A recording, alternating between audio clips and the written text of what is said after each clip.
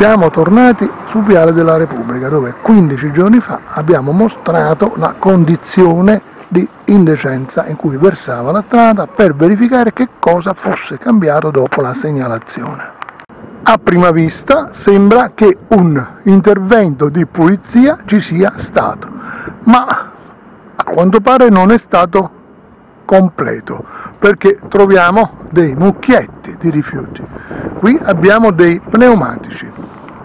Un altro mucchietto è qui, a dimostrazione che il prelievo dei rifiuti non è stato totale.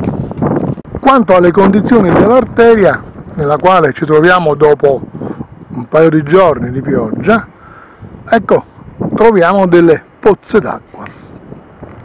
E un'altra ancora più abbondante, è quasi un laghetto, a dimostrazione che in questa zona davvero c'è una carenza dell'impianto fognario una carenza che ha costretto l'amministrazione a chiudere l'arteria per provvedere a sistemare il problema.